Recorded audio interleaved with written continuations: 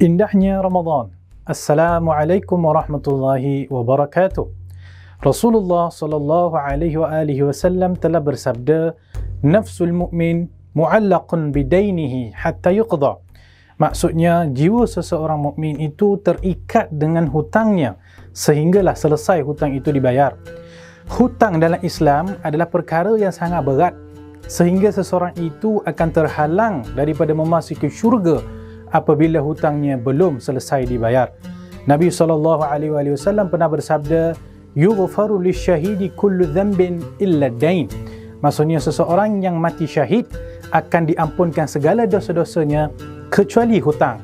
Sedang pendengar rahimakumullah, seseorang yang berjuang di jalan Allah sehingga mati syahid pun akan terhalang daripada memasuki syurga sekiranya dia meninggalkan hutang. Maka kerana itulah kita dianjurkan supaya segera membayar hutang apabila mempunyai kemampuan untuk membayarnya dan janganlah menunda-nunda dari membayar hutang tersebut kerana tiada siapa yang tahu bilakah maut akan datang mendatang. Sempena bulan Ramadan yang mulia ini, samalah kita membayar hutang-hutang kita.